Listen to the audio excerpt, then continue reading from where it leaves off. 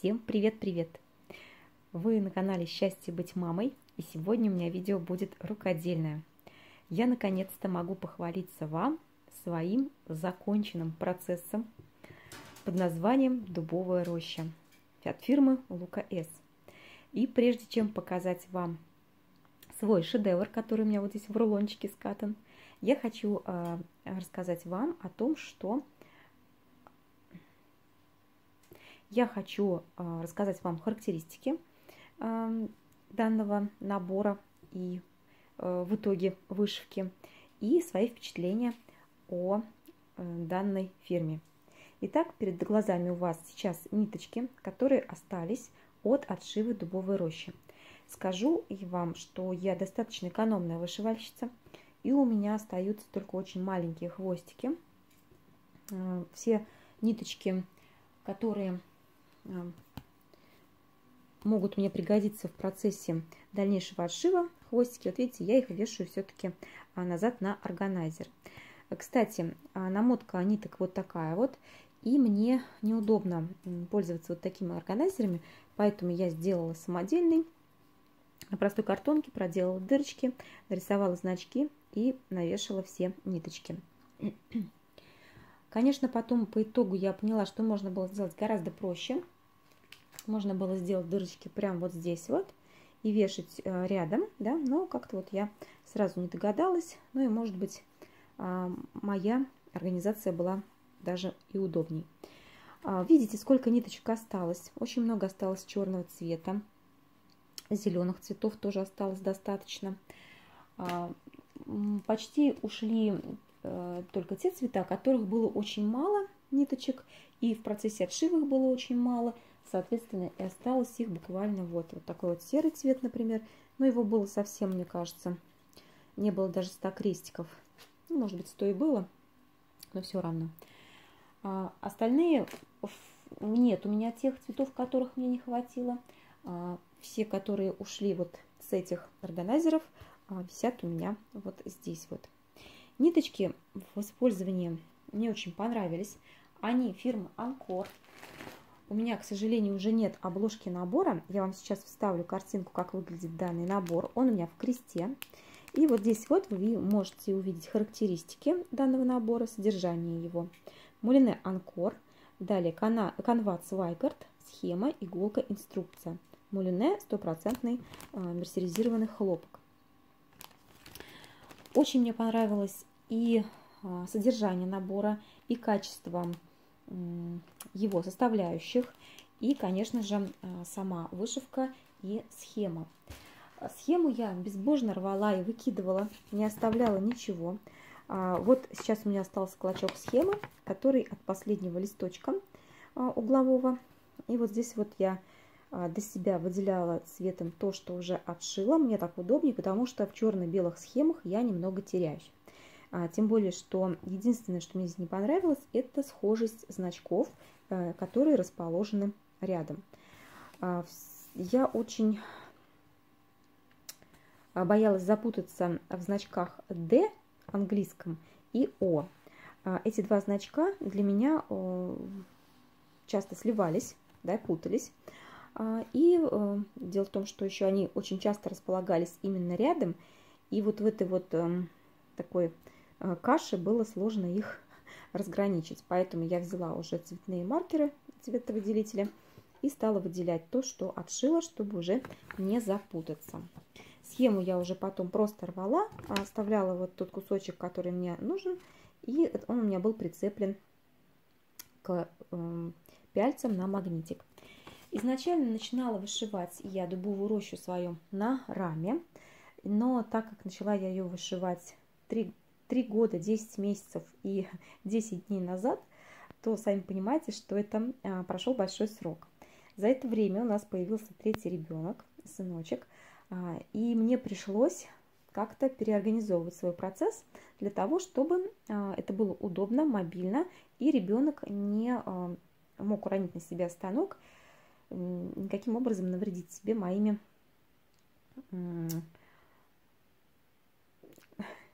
моим рукоделием. Поэтому я купила себе такой диванный держатель для пялец.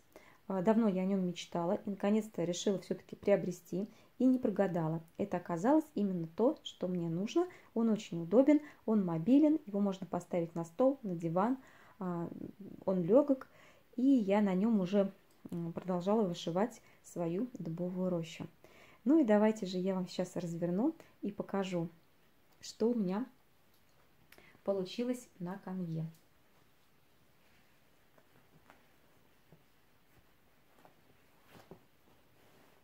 Она большая, надеюсь, что она поместится в кадр. Вот такая вот красота.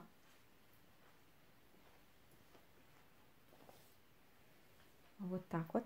Мне пришлось расположиться на диване, а, потому что нигде больше у нас нет такого места, чтобы снять а, во всей красе мою а, дубовую рощу.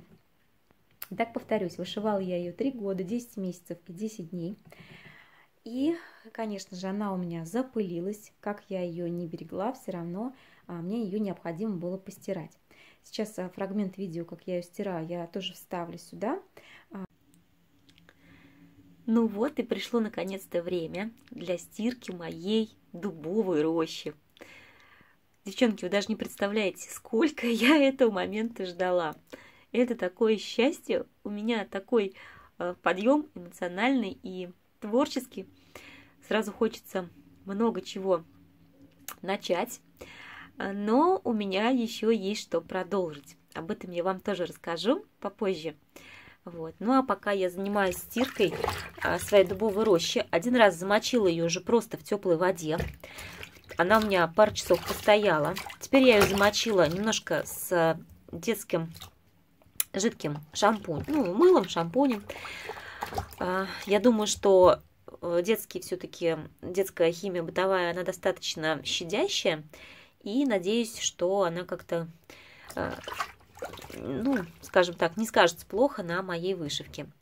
И хочу сейчас воду слить, чтобы показать и вам, и себе, какая вода чистая, нет. Но она слегка мутненькая, потому что здесь мыло, но все-таки. Давайте посмотрим.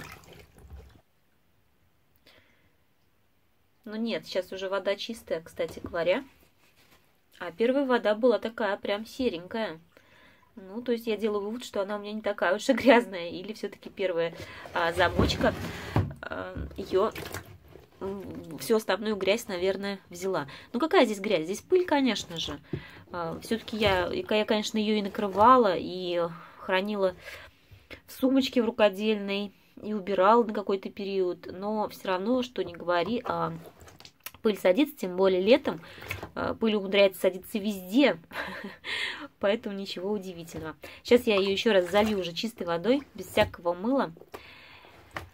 И потом уже буду вынимать и сушить. Мне было интересно, какой будет результат после стирки, много ли будет на ней а, загрязнения.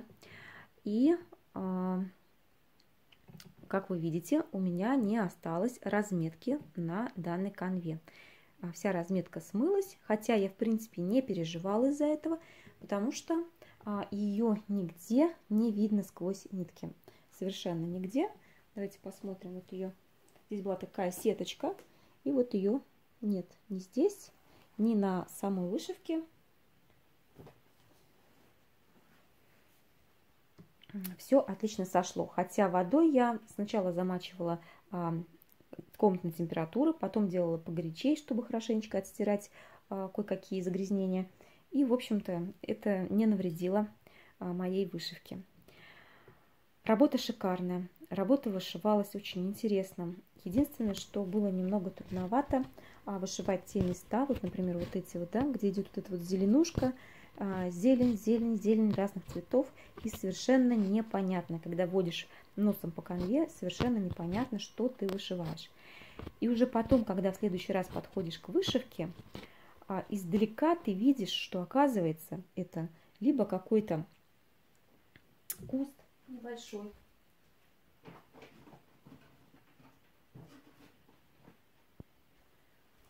забыла ножнички свои, либо это какие-то цветочки вот здесь вот, либо это вот э, такой кустарник, поросль какая-то перед большим дубом. А, вот здесь вот какая-то, да, тоже то ли, то ли муравейник, то ли что. Ну, по-моему, это муравейник. А, в общем, песчаная вот эта вот эм, песчаный срез берега. Кстати говоря, вот здесь вот, с этой стороны видно, что это вода, в ней отражается вся зелень. И на самом деле я посмотрела оригинал картины, Здесь идет не просто озерцо, здесь, э, видимо, протекает река, она уходит вот сюда вот, но просто сам сюжет немного урезали, и получилась вот такая вот замечательная картина. Я вам сейчас обязательно тоже вставлю сюда оригинал, чтобы вы смогли посмотреть, с чего э, была сделана, разработана данная э, вышивка. А многих пугал вот этот вот ствол, который торчит вот здесь вот и обрывается, как-то уходит в небо. Но еще раз рассмотрев внимательно и вышивку, и оригинал, э, становится понятно, что это сломанное дерево, которое растет вот здесь вот, вот оно прячется за ветвями и выходит вот сюда вот и торчит здесь. Поэтому ничего убирать я не стала, сделала все как есть по схеме. В конце концов, мы покупаем наборы для того, чтобы вышивать их такими, какие они есть, ничего не меняя. Этот набор мне подарил мой супруг на Новый год. И я, конечно же, сразу начала, ну не сразу, через два месяца я начала его вышивать а, для того, чтобы подарок не залеживался. Я очень не люблю, когда подарки залеживаются. А, хочется, чтобы человек знал, что его подарок ценен. И, конечно же, хотелось увидеть эту красоту у себя на стене. Посмотрите, какая перспектива. А, вот здесь вот вдали можно просто, вот я не знаю, любоваться, смотреть туда вдаль и пытаться пройти туда и, и прогуляться среди этих дубов, о чем-то подумать, помечтать. Шикарная, шикарная перспектива. И на вышивке она смотрится тоже очень здорово. А два года назад мы были практически в такой дубовой роще, э, тоже на берегу реки. И для меня это такая знаковая, знаковая картина, а, которая будет теперь висеть у нас в квартире и радовать нас и как бы э, набивать на нас воспоминания а, о нашей прогулке по такой вот дубовой рощице. Очень мне нравится, как передан свет, э, свет э, дня да, и свет солнца на этой картине.